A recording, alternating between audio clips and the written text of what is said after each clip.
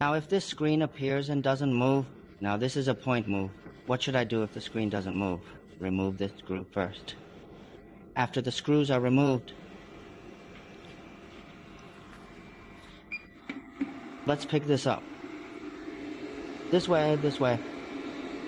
In this place. Look, there's a button on this one. Open this lid.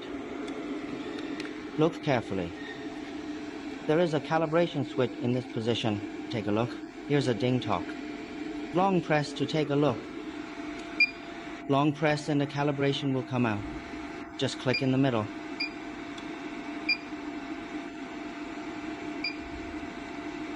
That's okay. At this location, here it is. At this location, let's press this buckle down by hand. Come out and take a look. Yes, there is a switch. Do you see it? There is a switch like this. There is a switch like this. Long press. Are you sure you pressed the switch? Long press, you see. Long press will bring out a calibration switch. Just calibrate it again. Tutorial is ready. Just restore it directly.